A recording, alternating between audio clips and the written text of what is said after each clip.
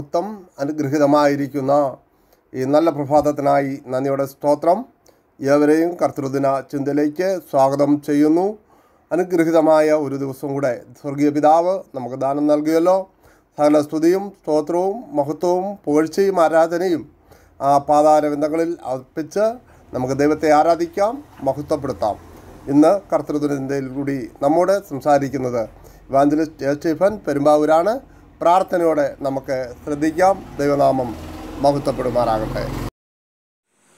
പഴയ നിയമത്തിലെ യാഗങ്ങൾ കാൽവറി യാഗത്തെ മുൻപോട്ട് നോക്കിക്കാണുന്നവയും സഹസ്രാബ്ദ ദൈവാലയത്തിലെ യാഗങ്ങൾ അതിനെ പുറകോട്ട് നോക്കി കാണുന്നവയുമായിരിക്കും. നോ യാഗപീഠത്തിന്റെ കൊമ്പുകളോട് യാഗത്തെ കെട്ടുവീൻ എന്ന് കർത്താവും ശിഷ്യന്മാരും പെസഹായാഗത്തിന്റെ ഒടുവിൽ ചൊല്ലിയപ്പോൾ കർത്താവാകുന്ന യാഗമൃഗത്തെ കുരിശിനോട് ചേർത്ത് ബന്ധിക്കുന്ന കാര്യമോർത്തു കാണും. യാഗവേദിയിലേക്ക് നീങ്ങാൻ അറച്ചു നിൽക്കുന്ന മൃഗത്തെ യാഗപീഠത്തിന്റെ കൊമ്പോട് ചേർത്ത് കെട്ടുമായിരുന്നു. എന്നാൽ നമ്മുടെ കർത്താവായ യേശുക്രിസ്തുവിനെ ക്രൂശിനോട് ചേർത്ത് കെട്ടിയത് ആണിയോ കയറോ കൊണ്ടല്ല പ്രത്യുത സ്നേഹപാശം കൊണ്ടായിരുന്നു. മനുഷ്യപാശങ്ങൾ കൊണ്ട് സ്നേഹബന്ധനങ്ങൾ കൊണ്ട് തന്നെ ഞാൻ അവരെ വലിച്ചു. ഇസ്രായേൽ മത്സരികളും ദുശാഠ്യമുള്ളവരുമായിരുന്നിട്ടും മൃഗങ്ങളെപ്പോലെ കയറുകെട്ടി വലിച്ചില്ല. സ്നേഹത്തോടെ നയിച്ചു. ബലത്തേക്കാൾ ശക്തി സ്നേഹത്തിനാണെന്ന് ദൈവത്തിന് അറിയാമായിരുന്നു അതുകൊണ്ട് ഏറ്റവും നല്ല മാർഗം സ്വീകരിക്കുവാൻ പിതാവിന് പ്രസാദമായി. വീണ്ടെടുക്കപ്പെട്ട ജനമായ ആരാധകർക്ക് സ്വർഗത്തിലെ സകല ആത്മീയ അനുഗ്രഹങ്ങളും നൽകി അനുഗ്രഹിച്ചിരിക്കുകയാൽ നന്ദിയുള്ളവരായി ആരാധിക്കാം. ക്രിസ്തു സ്നേഹത്താൽ നമ്മുടെ ശരീരങ്ങളെ യാഗമായി അർപ്പിച്ചുകൊണ്ട് ആരാധന ചിന്ത ശ്രവിക്കുന്ന ഏവർക്കും സ്നേഹവന്ദനങ്ങൾ. വചന വായനാ ഭാഗം സങ്കീർത്തനങ്ങൾ നൂറ്റി പതിനെട്ടിന്റെ ഇരുപത്തിരണ്ട്. വീട് പണിയുന്നവർ തള്ളിക്കളഞ്ഞ കല്ല് മൂലക്കല്ലായി തീർന്നിരിക്കുന്നു. കർത്തൃദിന ധ്യാന ചിന്താവിഷയം ജീവനുള്ള മൂലക്കല്ല്. ഒന്ന് പത്രോസ് രണ്ടിന്റെ ആറ്. വീട് പണിയുന്നവരായ ഇസ്രായേൽ യേശുക്രിസ്തുവിനെ എങ്ങനെയാണ് തള്ളിയതെന്നും അതിനെ ദൈവം തന്റെ നിത്യഹിതപ്രകാരം എങ്ങനെയാണ് നിയന്ത്രിച്ചതെന്നും അവർ തള്ളിയ കല്ല് ഭാവിയിൽ അവരുടെ മൂലക്കല്ലായി എങ്ങനെ തീരുമെന്നും ദൈവം തന്നെ പ്രവർത്തിച്ച അത്ഭുതമാണെന്നും ക്രിസ്തു തെളിയിച്ചു. ജീവനുള്ള കല്ലായ അവന്റെ അടുക്കൽ ഒരിടത്ത് ക്രിസ്തു ആത്മപോഷണമായ പാൽ മറ്റൊരിടത്ത് സഭാസൗദത്തിന്റെ അടിസ്ഥാന ശില. പത്രോസ് പണ്ട് ഏറ്റുപറഞ്ഞു നീ ജീവനുള്ള ദൈവത്തിന്റെ പുത്രനായ ക്രിസ്തു. ക്രിസ്തു പറഞ്ഞു ഈ പാറമേൽ ഞാൻ എന്റെ സഭയെ പണിയും. അത്തായി പതിനാറിന്റെ പതിനെട്ട്. പത്രോസ് എന്നാൽ പാറക്കഷണം എന്നർത്ഥം. ജീവനുള്ള പാറ ക്രിസ്തുവാണെന്ന് അർത്ഥ ശങ്കയ്ക്കിടയില്ലാതെ പത്രോസ് വ്യക്തമാക്കുന്നു. മത്തായി പതിനാറിന്റെ പതിനാറ്. ആ പാറ പത്രോസ് ആണെന്ന് റോമൻ കത്തോലിക്കർ പറയുന്നത് ശുദ്ധ അബദ്ധം. ക്രിസ്തു അവരിൽ തന്നെ ജീവനുള്ളവനാകുന്നു. മരിച്ചവരുടെ ഇടയിൽ നിന്നും എന്നേക്കും ജീവിക്കാനായി ഉയർത്തെഴുന്നേറ്റവൻ. വെളിപ്പാട് ഒന്നിന്റെ പതിനെട്ട്. നമുക്ക് ജീവദായകനാകയാൽ ക്രിസ്തു ജീവനുള്ള കല്ലാണ്. ലോകത്തിലെ പാറകളിൽ നിന്ന് വ്യത്യസ്തനായി ജീവനുള്ള പാറയും ജീവൻ നൽകുന്ന പാറയും അത്രേ അങ്ങനെയുള്ള ദൈവത്തെയാണ് നാം ആരാധിക്കുന്നുവെന്നുള്ളത് എത്ര മനോഹരമാണ്. വിശുദ്ധ പുരോഹിത വർഗമാണ് ആരാധകർ. പഴയ നിയമ ഇസ്രായേൽ ദൈവത്തിന് പുരോഹിത വർഗമായിരുന്നു. ഇപ്പോൾ പുതിയ നിയമ വിശ്വാസികൾ അത്രേ പുരോഹിതന്മാർ.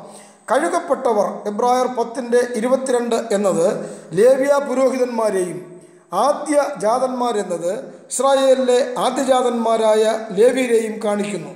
വിശ്വാസികൾക്ക് ഒരു യാഗപീഠമുണ്ട്. തന്റെ ശുശ്രൂഷ പുരോഹിത ശുശ്രൂഷയാണ്.